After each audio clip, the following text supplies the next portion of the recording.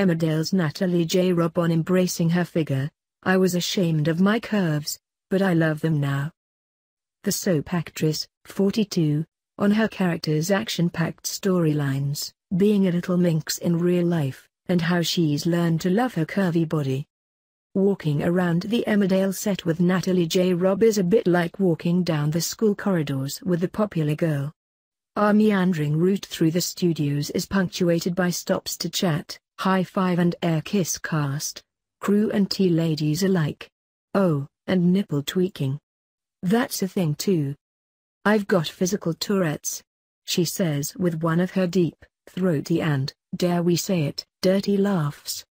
I'm always running up to people on set and tweaking their nipples, because I like to keep everyone's energy up. Everyone knows when I'm coming, because they all scatter in the corridors and try to block me. I'm a little minx on set. There's hardly been a time when the cast are more in need of energy.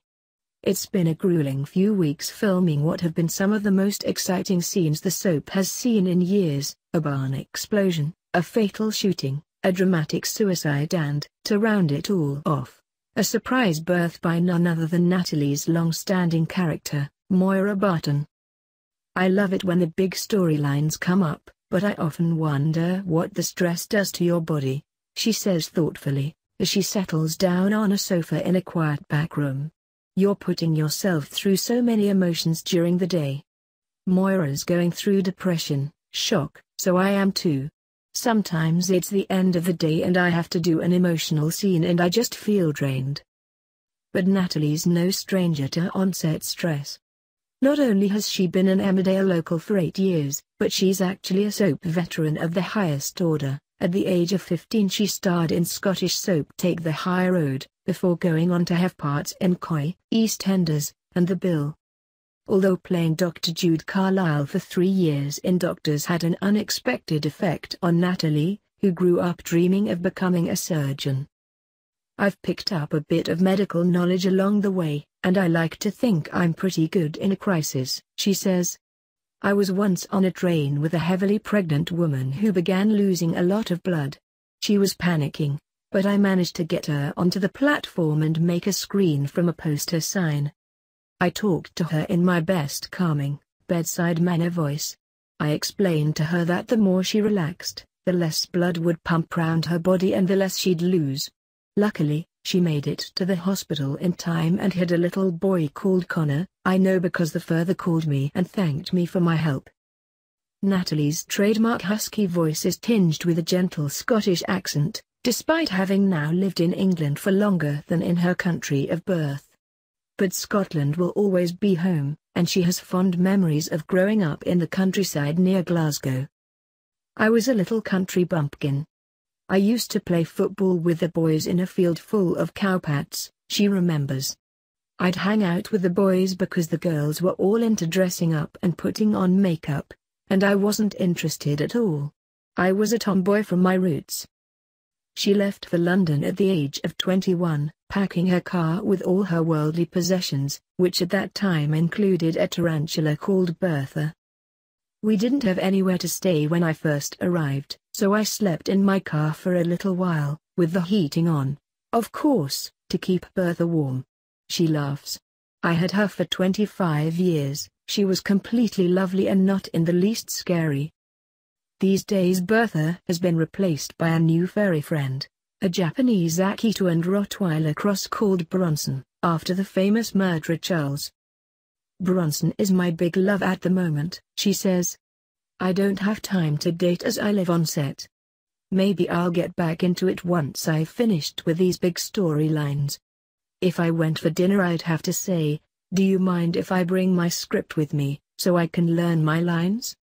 She's certainly not short of admirers, though and regularly receives fan mail from younger blokes who love her curvaceous figure, which is on show today in a fitted jumper and skinny jeans. I was given these curves by my mum, and I'm not ashamed of them. We both have boobies and a bum that sticks out, she says. For years as a teen I was ashamed, but I'm all about accepting my body. A lot of blokes have said to me that they like women with curves. You do get guys who like skinny girls, Really they should just like boys then. In the past, Natalie's spoken about wanting to start a family but waiting for the right man to come along before she has kids. Is playing a new mum making her broody? We used two babies for filming, and whenever they're on set there's lots of cooing. They were so small to begin with, and they're growing with me, she smiles a crinkly-eyed grin. It doesn't make me broody, though, I have friends with babies I like to see. I watched one born every minute to prepare for the birth scene, and I won't be watching that again. Respect to women who have kids and rip everything up.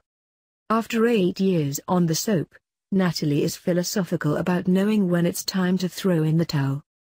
Will I stay? That's in the lap of the gods, because it's so story-led, she says. I'm a great believer that you mustn't take it personally if you get written out.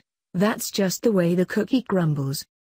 With so many exciting storylines under her belt, let's hope those soap gods keep Moira in the Dales. Natalie on Moira. I absolutely love playing such a feisty, strong woman.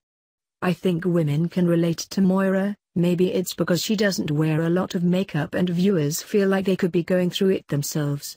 She's a woman's woman. Women have a lot to say and I think we should embrace that, rather than shy away from it. The Big Barn explosion was exciting. We filmed late into the nights, as we were leaving the set, the rest of the crew were arriving for work.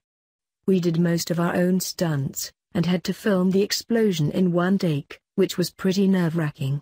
When the blast went off, we felt a real, boiling surge from it. Afterwards the adrenaline was rushing though us, we were just buzzing. I was wired every night when I got home.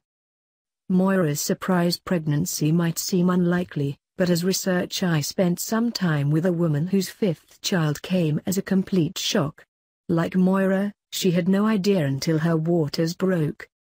They didn't make me wear a bump or anything, that's just my fat, but they did give me baggier clothes. I've done eight years on Emmerdale now, but I never get bored of Moira, she has a far more exciting life than I do. It's the longest role I've had and it's been great to develop a character. Emmerdale is on ITV every weekday, 7 p.m. p.m.